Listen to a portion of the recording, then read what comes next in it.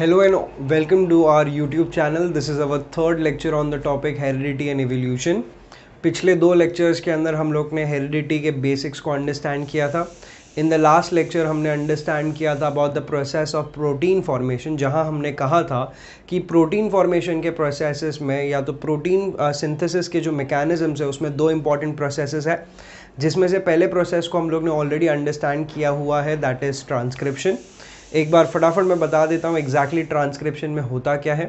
Transcription एक ऐसा mechanism था जिसमें हमने पढ़ा था कि जो डीएनए मॉलिक्यूल होता है, जो डबल स्टैंडर्ड डीएनए मॉलिक्यूल होता है which is present within the nucleus it has the information for protein synthesis लेकिन प्रोटीन सिंथेसिस का जो मैकेनिज्म है that is going to take place in the cytoplasm तो अब ये जो इन्फॉर्मेशन न्यूक्लियस में है, ये न्यूक्लियस के इन्फॉर्मेशन को कहाँ तलक लाना था? साइटोप्लाज्म तलक। अब डीएनए तो न्यूक्लियस से निकल नहीं सकता था। तो basically within the nucleus एक इंपॉर्टेंट प्रोसेस होता है दैट इज़ ट्रांसक्रिप्शन जहाँ पे जो डबल स्टैंडर्ड डीएनए है that will be copied into a mRNA और ये जो एमआरएनए मॉलिक्यूल है this will have the information for protein synthesis अब ये M R N A molecule जो बना है, उसका आगे क्या होना है? द आंसर इज़ ट्रांसलेशन अब ये ट्रांसलेशन क्या होता है, कैसे होता है that is what we are going to understand today in our topic that is translation and translocation so अभी भी हम लोग प्रोटीन सिंथेसिस के मैकेनिज्म को ही पढ़ रहे हैं, जहाँ पे हमें आज अंडरस्टैंड करना है कि ये ट्रांसलेशन और ट्रांसलोकेशन होता क्या है। Let's start with the first one that is translation अब ट्रांसलेशन को हम लोग अंडरस्टैंड करें, उससे पहले थोड़े बेसिक्स देख लेते हैं। इफ़ यू रिमेंबर हम लोग ने ये देखा था कि हमारे पास टोटल तीन नॉन जेनेटिक आरएनए होते हैं। We had said that R N A can be classified as genetic and non genetic उसमें से जो non genetic R N A होते हैं they are of three types कौन से कौन से? The answer is M R N A R R N A and T R N A अब आर आर एन ए जो है it is already providing binding site for M R N A अब हम लोग ये समझने की try करते हैं what is the role of M R N A and T R N A in this ठीक है? जो हमारा एमआरएनए होता है, ये एमआरएनए पे ट्रिपलेट ऑफ़ न्यूक्लियोटाइड्स होते हैं, ये भी हम लोग ने लास्ट टाइम देखा था। वो जो ट्रिपलेट्स ऑफ़ न्यूक्लियोटाइड एमआरएनए पे प्रेजेंट होते हैं, उनको हम लोग बुलाते हैं कोडॉन और ये हम लोग ने लास्ट टाइम भी देखा था that each codon has the information for amino acid ठीक है? तो मैंने सिर्फ़ यहाँ पे इतना लिखा है कि ये जो एम आर मॉलिक्यूल होता है, इसके पास कोडॉन्स होते हैं, ठीक है? वेर एज जो दूसरा आर एन ए मॉलिक्यूल है that is T R N A molecule इनके पास होते हैं एंटी कोडॉन अब ये वर्ड एंटी कोडॉन को देखोगे तो तुरंत क्लिक होना चाहिए कि ये एंटी है कोडॉन को. अब एंटी का मतलब होता है opposite in other words codon का जो भी सीक्वेंस होगा, यहाँ पे उसका एग्जैक्ट ऑपोजिट सीक्वेंस होगा, जिसको हम लोग कहते हैं complementary sequences are you able to understand this so codon के जो सीक्वेंसेस होंगे, उसका जो कॉम्प्लीमेंट्री सीक्वेंस होगा, वो होगा एंटी कोडॉन और ये एंटी कोडॉन किसके पास प्रेजेंट है? टी के पास. और ये टी बेसिकली क्या लेके आने वाला है? The answer is amino acids amino acids को लेके आने का काम कौन करते हैं? टी अब ये सब कैसे होता है practically that is what we are understanding over here pay attention to this so ये जो ब्लैक कलर का यहाँ पे मैंने ड्रॉ किया हुआ है that is nothing but your M R N A molecule whereas ये जो स्ट्रक्चर्स मैंने यहाँ पे ड्रॉ किए हैं these are your T R N A molecules ठीक है? तो ट्रांसलेशन में कुछ ऐसा ही होता है, जहाँ तुम्हारा M R N A molecule होगा M R N A molecule पे जो कोडॉन्स होंगे, उसके मुताबिक या तो उसके अकॉर्डेंस में टी आर एन ए वहाँ पर आएँगे।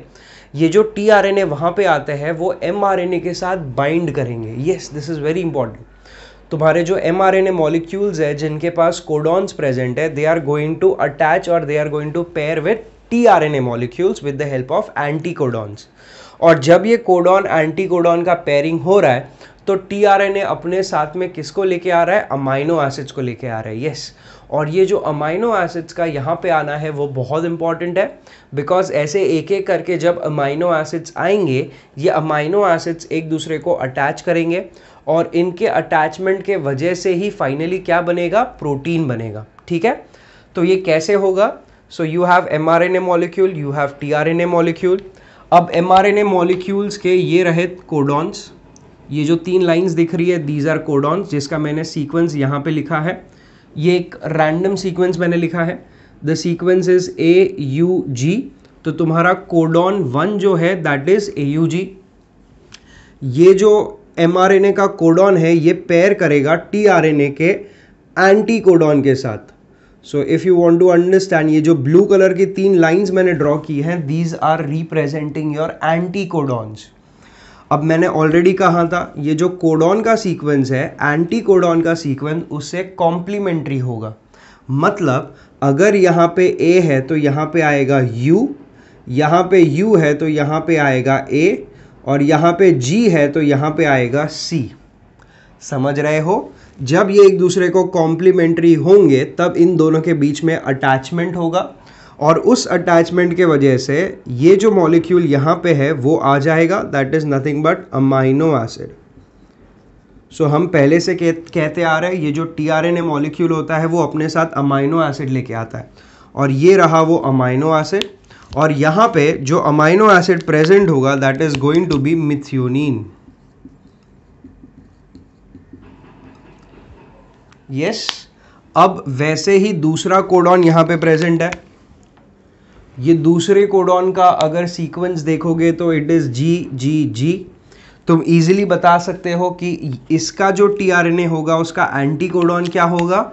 जी का complementary C C C are you able to understand this और जब ये कोडॉन होगा तो जो अमाइनो एसिड इसके साथ आएगा दैट इज़ ग्लाइसिन अब जब ऐसे एक एक करके अमाइनो एसिड्स आते जाएँगे, इन अमाइनो एसिड्स के बीच में एक बॉन्ड बनेगा। समझ पा रहे हो?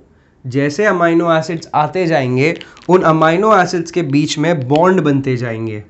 ये कौन से बॉन्ड होते हैं? तो ये बॉन्ड के नाम को याद रखना इंपॉर्टेंट है। The bond that is formed is called as your peptide bond so peptide bond की मदद से अमाइनो एसिड एक दूसरे को ज्वाइन होते जाएँगे, जिसकी मदद से एक बड़ी सी चेन ऑफ़ प्रोटीन बनेगी और यही फिर फाइनली कन्वर्ट होगी इनटू फंक्शनल प्रोटीन लेकिन ये जो प्रोसेस था कि तुम्हारा T R N M R N A से अटैच होता है और अमाइनो एसिड्स एक एक करके ज्वाइन होते हैं। ये पूरे प्रोसेस को हम लोग बुलाते हैं ट्रांसलेशन ठीक है? However, this is highly specific because of codon anti codon pairing यहाँ पे मिस्टेक के चांसेस कम हो जाते हैं बिकॉज़ जब कोडॉन और एंटी कोडॉन एक दूसरे को कॉम्प्लीमेंट्री होंगे तभी ही वो अटैच करेंगे और सही अमाइनो एसिड्स वहाँ पे लेके आएँगे। So this is the first part that is called as translation. The second part that we have to understand is translocation. अब ये नाम से ही पता चलता है कि ट्रांसलोकेशन के अंदर कोई ना कोई मॉलिक्यूल का लोकेशन चेंज होगा। और यहाँ पे जिस मॉलिक्यूल का लोकेशन चेंज हो रहा है that is nothing but your ribosome हमारे ये जो राइबोसोम्स होते हैं ये मॉलिक्यूल्स uh, होते हैं जो कि प्रोटीन सिंथेसिस के मैकेनिज्म को हेल्प करते हैं। अब इतना डिटेल में तुम्हारे सिलेबस में नहीं है बट फॉर योर इन्फॉर्मेशन ये जो राइबोसोम्स होते हैं, इनके दो सब यूनिट्स होते हैं। एक होता है लार्जर सब यूनिट दूसरा होता है स्मॉलर सब यूनिट और ये दोनों सब यूनिट जाके एमआरएनए को अटैच करते हैं। अगर मैं डायग्रामेटिकली ड्रॉ करूँ for example this is your mRNA ठीक है? ये एमआरएनए का एक कोडॉन लेते हैं, दूसरा कोडॉन लेते हैं, तीसरा कोडॉन लेते हैं फॉर अंडरस्टैंडिंग तो मैं जो कह रहा हूँ, उसके मुताबिक यहाँ पे एक पहले तो स्मॉलर राइबोसोमल यूनिट आएगा। राइबोसोम का छोटा सा यूनिट आएगा। उसके बाद लार्जर सब यूनिट आएगा। ठीक है? और ये जब एक दूसरे को अटैच कर जाएँगे, उसके बाद ये आगे के तरफ़ बढ़ेगा। यहाँ पे जैसे एक अमाइनो एसिड आ जाएगा it is going to move in the next और फर्दर डायरेक्शन उसका जो एक स्टेप होता है that is equal to three nucleotides यानी वो जब भी मूव करेगा तो कोडॉन टू कोडॉन मूव करेगा। फॉर एग्ज़ाम्पल ये यहाँ पे फ़र्स्ट कोडॉन पे है। जैसे ही वो मूव करेगा, वो सेकेंड कोडॉन पे आ जाएगा। वापस मूव करेगा थर्ड कोडॉन पे मूव करेगा। और ये जो राइबोसोम का मूवमेंट है, उस राइबोसोम के मूवमेंट को ही हम लोग बुलाते हैं एज ट्रांसलोकेशन और इसका एक डायरेक्शन होता है this is five prime end जो एमआरएनए का एंड होता है, उसको हम कहते हैं five prime end so movement कहाँ से कहाँ होगा? फाइव प्राइम एंड से होगा थ्री प्राइम एंड तक और यही राइबोसोम के मूवमेंट को हम लोग कहते हैं एज ट्रांसलोकेशन सो याद रखना translocation is the movement of ribosome from the direction of five prime to three prime और वो जब भी मूव करेगा तो उसका हर एक स्टेप कितना होगा? थ्री न्यूक्लियोटाइड्स और वन कोडॉन जितना वो हमेशा मूव करेगा। जैसे जैसे वो मूव करेगा अमाइनो एसिड्स ऐड होते जाएँगे। अब ऐसा करते करते फाइनली तुमको एक लीनियर चेन ऑफ़ प्रोटीन मिलेगी। लीनियर का मतलब होता है स्ट्रेट चेन ऑफ़ प्रोटीन कई बार ये जो लीनियर चेन्स ऑफ़ प्रोटीन्स होते हैं, वो नॉन फंक्शनल होते हैं। लेकिन किसी भी ऑर्गेनिज्म के बॉडी के अंदर जो भी प्रोटीन्स होंगे, उनको फंक्शनल होना ज़रूरी है। तो बेसिकली क्या होगा, ये जो लीनियर प्रोटीन्स के चेन्स है, ये और भी different type of linear chain के साथ जॉइन या तो अटैच होंगे। मैं वापस बता रहा हूँ, ये जो लीनियर चेन ऑफ़ प्रोटीन्स होंगे, ये और भी बाकी चेन्स के साथ, एक दूसरे के साथ अटैच करेंगे। जिसके वजह से ये जो सिंपल चेन्स है they will get converted into complex chains और ये जो कॉम्प्लेक्स चेन्स ऑफ़ प्रोटीन होते हैं they are the functional proteins और फिर यहाँ पे पूरा प्रोटीन सिंथेसिस का जो मेकेनिज़्म है वो कंप्लीट होता है बिकॉज़ फाइनली हमको फंक्शनल uh, प्रोटीन्स मिल चुके हैं। So this is an overview of the complete process that is involving transcription, उसके बाद ट्रांसलेशन जिसके साथ ही साथ होता है ट्रांसलोकेशन और फाइनल रिज़ल्ट में तुमको मिलेंगे फंक्शनल प्रोटीन्स जो कि कॉम्प्लेक्स फॉर्म में जब बहुत सारे चेन्स एक दूसरे को अटैच होंगे, तब जाके बनेंगे तुम्हारे complex functional proteins I hope you all are clear till this एक बार इसको फटाफट कॉपी कर लो, फिर हम लोग नेक्स्ट कॉन्सेप्ट को अंडरस्टैंड करते हैं. Now, let's understand about the transmission of characters. So, जब भी ट्रांसमिशन ऑफ़ कैरेक्टर्स होना है दैट इज़ पेरेंट्स जब अपने कैरेक्टर्स ऑफ़ स्प्रिंग या तो अपने नेक्स्ट जनरेशन तक पास ऑन करेंगे तो वो किसके मदद से होगा? The answer is genes so whenever there is transmission of genes दो टाइप के ऑब्जर्वेशंस देखने को मिलते हैं। Right right? अब ये क्या ऑब्जर्वेशन है? ये इंपॉर्टेंट है। ये जो जीन्स पास ऑन होते हैं from the parents to their children उनके अंदर कई बार चेंजेस नहीं होते हैं। सो so, चेंजेस नहीं होते हैं। या तो we can say that these are without changes बिना चेंज के अगर जीन्स पास ऑन होंगे ये तुम ही सोचो अगर बिना चेंजेस के कोई जीन्स पास ऑन हो रहे हैं नेक्स्ट जनरेशन तक इसके वजह से वो जो चिल्ड्रन होंगे उनके कैरेक्टर्स कैसे होंगे?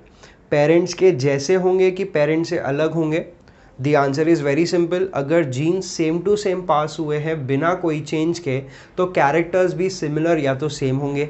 जिसके वजह से डेवलप होती है heredity that is similar characters का ऑब्ज़र्व होना।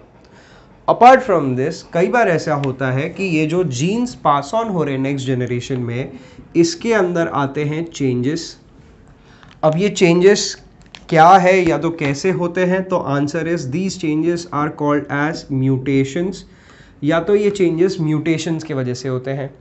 अब हमें ये इंपॉर्टेंट है समझना कि ये म्यूटेशंस होते क्या हैं। तो म्यूटेशन का डेफिनेशन क्या कहता है?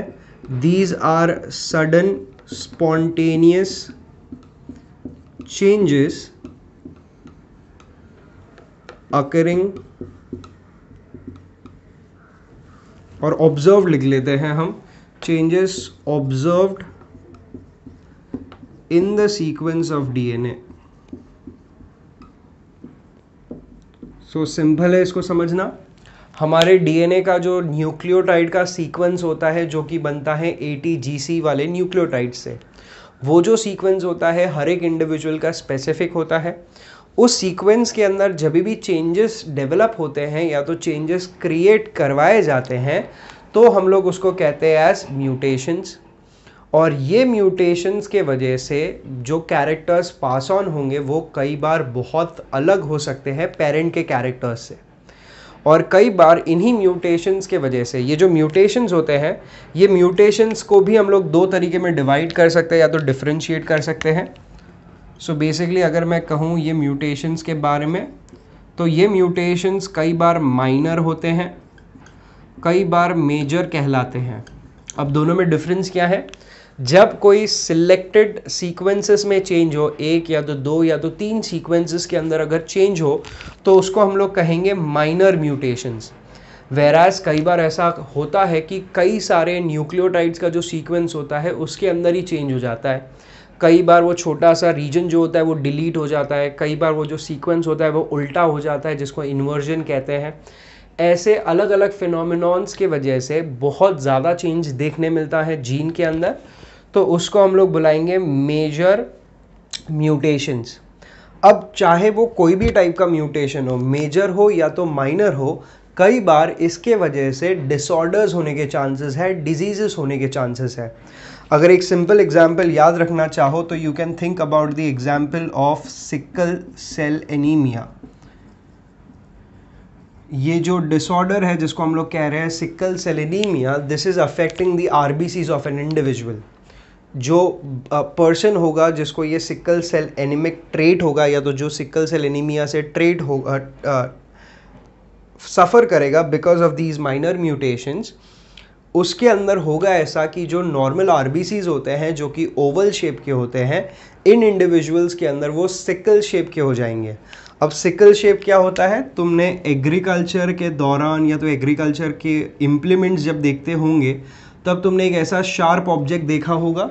This is called as sickle इसको हम लोग सिकल बुलाते हैं, जो कि फ़सल को काटने में यूज़ होता है या तो हार्वेस्टिंग में यूज़ होता है।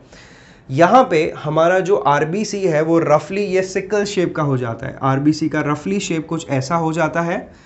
दैट इज़ द रीज़न ये कंडीशन को ही हमने क्या नाम दे दिया है? Sickle cell anaemia which is a disorder which is related to breathing problems so ये था तुम्हारा म्यूटेशन म्यूटेशन का डेफिनेशन याद रखना इंपॉर्टेंट है। Sudden spontaneous changes occurring in the sequence of DNA DNA के सीक्वेंसेस में जो भी चेंजेस होंगे, उसको हम लोग क्या कहेंगे? म्यूटेशन जिसके वजह से कैरेक्टर्स भी चेंज होते हैं और कई बार जेनेटिक डिसऑर्डर्स भी हो सकते हैं। So this is about the initial part of the chapter that is heredity along with proteins in this is in the upcoming lecture, we will try to understand about evolution.